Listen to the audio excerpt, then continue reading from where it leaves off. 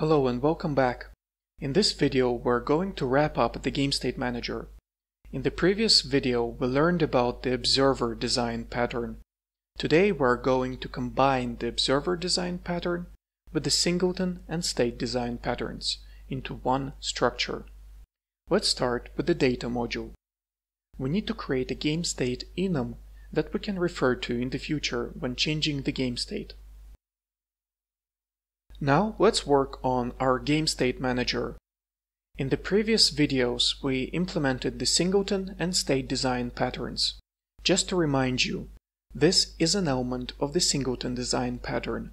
That one as well. This is state, state and state design pattern. Let's add the observer design pattern into the structure. Firstly, we need to modify the iState variable into an associative array of game states. Instead of accessing the array elements by index, we can access it by a special key instead. In this case, it is the game state enum value. Secondly, we need to create a private game state variable to keep track of the current game state.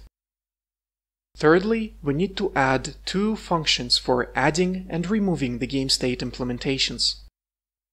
Next, we need to modify the setState function.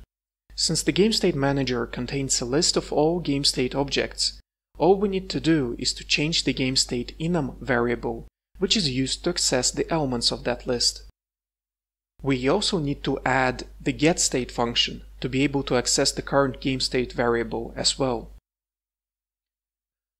Finally, we need to modify the execute function since iState is no longer a single instance, but an associative array, we need to specify which GameState object to use when calling the run function.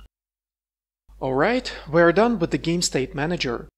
At this point, what is left to do is to modify the menu and play GameState classes. Menu and play are practically the same. We need to import the GameState Manager and add update, process events, and render functions to both. Now let's return to our main function and initialize a window and create a game loop. Then we need to create GameState objects and add them to the GameState manager. And finally, we can compile and run the game.